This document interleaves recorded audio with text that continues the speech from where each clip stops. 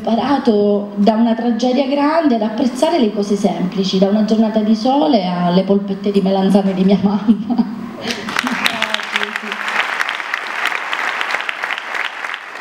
Era un giorno di fine agosto quando Giusy Versace, giovanissima ragazza calabrese, ha perso entrambe le gambe, tranciate di netto in un incidente drammatico nel tratto autostradale nei pressi di Castrovillari sulla Salerno-Reggio Calabria. La sua testimonianza ieri sera al protoconvento francescano nel corso della ottava edizione della Befana del Poliziotto organizzata dal SIULP è stata un inno alla vita. Una vita vissuta nel dolore ma aggrappata alla fede, nella sofferenza ma condita di speranza, con tante difficoltà affrontate a viso aperto. Una vita comune che è diventata straordinaria nella sua semplicità perché ha saputo cogliere la prospettiva giusta nel momento in cui tutto avrebbe fatto pensare al peggio.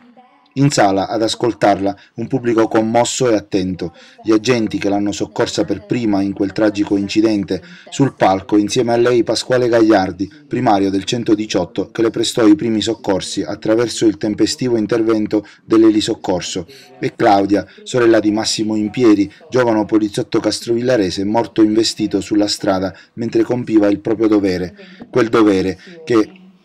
aveva tanto desiderato di svolgere nel migliore dei modi ma anche il segretario nazionale SIULP Felice Romano e il dirigente superiore della Polizia di Stato Cosimo Maruccia. Una serata insomma dai valori forti, dal senso profondo, di quelle che non ti aspetti in una ricorrenza tanto festosa come l'arrivo della Befana, che colorerà gli occhi di gioia dei tanti bambini presenti all'appuntamento ormai consolidato del SIULP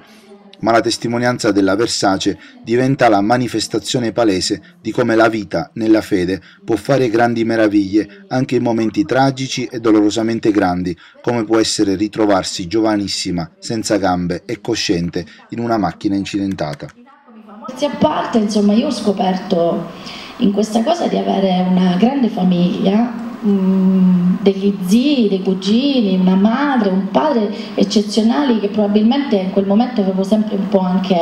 non dico snobbato, però sai, li dai per scontati e invece ti rendi conto che poi non è così. E io tutte queste cose le ho scoperte a Lourdes, davanti a quella grotta, perché la fede mi ha aiutato a girare la domanda. Ecco, cosa ti ha risposto la Madonna? Perché non a te, che hai tu più degli altri? E in effetti poi sono tornata in albergo pensando perché non a me, perché mi chiamo Giusy Versace, perché a me non doveva succedere. È successo a me, amen, e, e, da quel giorno io non ho più visto una croce da portarmi dietro, io ho visto in queste mie nuove gambette un'opportunità di una nuova vita, di un nuovo futuro, l'opportunità di tornare in piedi, l'opportunità di tornare a guidare. Oggi io ho ripreso la patente, ho ripreso anche il patentino per lo scooter, ogni tanto vado sui kart ho le gambe per andare al mare, ogni tanto ho anche quelle per correre, però la cosa più bella è che io ho imparato a guardarmi allo specchio senza arrabbiarmi, ho imparato a guardare la gente continuando a sorridere e ho imparato che anche se tu dentro stai male e anche se è chiaro, voglio dire, non posso dirti sono felice di aver perso le gambe, ma sicuramente non sono triste, io sono felice perché amo la vita e ho imparato da una tragedia grande ad apprezzare le cose semplici, da una giornata di sole alle polpette di melanzane di mia mamma.